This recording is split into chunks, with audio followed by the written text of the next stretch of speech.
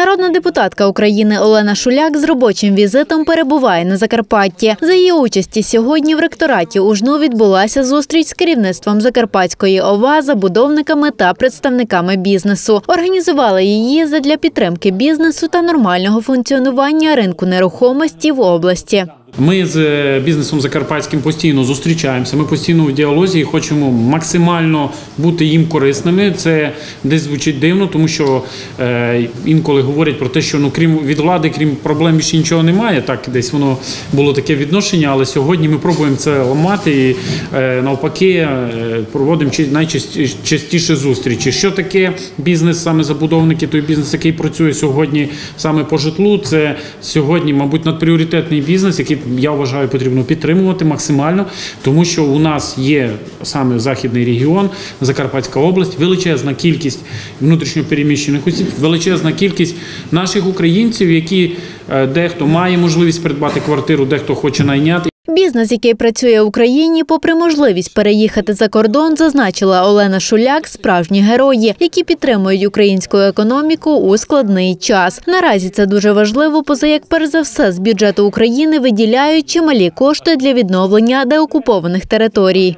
Я щиро вважаю, що саме будівельна галузь буде однією з тих галузей, яка буде піднімати економіку нашої країни і витягувати наш е, ВВП, наближати економічний розвиток, тому що більше ніж 30 суміжних галузей торкаються саме до будівельної галузі. Є певні розрахунки, які говорять, що мультиплікатор інвестиційний більше ніж 5 саме для будівельної галузі. Тому, на мій погляд, стимулювання всіх процесів, які пов'язані з будівництвом, з відбудовою, з відбудовою нашої інфраструктури, не тільки житла, з будівництвом соціальної інфраструктури і великих медичних проєктів.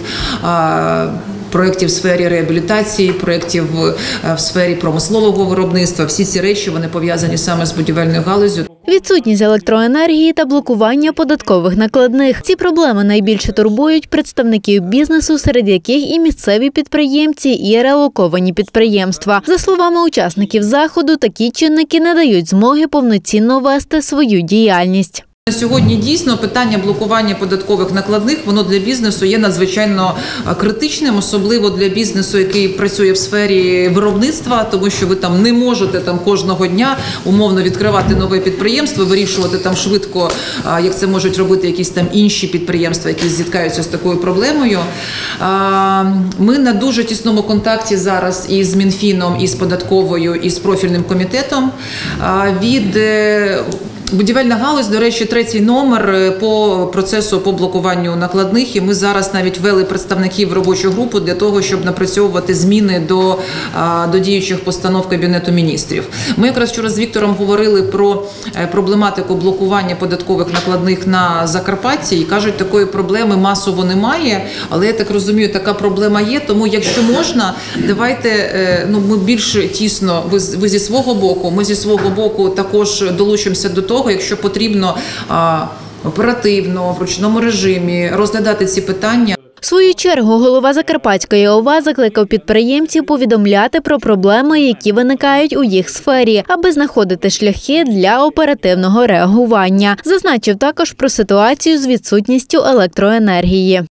Питання номер один це питання забезпечення електроенергією бізнесу, тому що саме цей процес, е, бізнес-процес, він повинен бути безперебійним. І що стосується е, виробництва конвеєрного типу, а також виробництва продукції е, там різного напрямку, відповідно потрібно прогнозоване електропостачання. Було багато різних питань, на які відповідав в тому числі і керівник Закарпаття Обленерго, а також ми обговорювали питання підтримки релокованого бізнесу, питання співпраці з е, податковою службою, е, різні там критичні моменти, які також виникають е, в ході ведення е, бізнес-діяльності.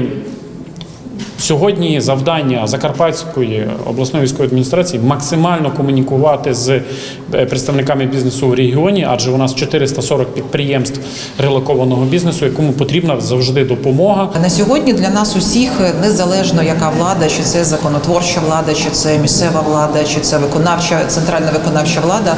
Для нас є величезне завдання мати розуміння стосовно всіх проблем бізнесу, який працює в різних регіонах України, знати ці проблеми і швидко на них реагувати. На сьогодні Закарпаття є лідером стосовно кількості релокованих підприємств з сходу України, з центральної частини України.